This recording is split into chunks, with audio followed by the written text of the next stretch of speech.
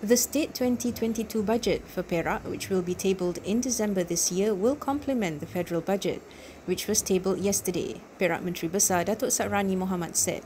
Saarani, who is also Kota Tampan Assemblyman, told reporters after launching the Perak Customs Department's Community Service Program at Dewan Merdeka Lenggong today. Finance Minister Tengku Datuk Sri Zafrul Abdul Aziz said the 2022 budget had proposed an allocation of 332.1 billion ringgit, the highest budget table in the country to date.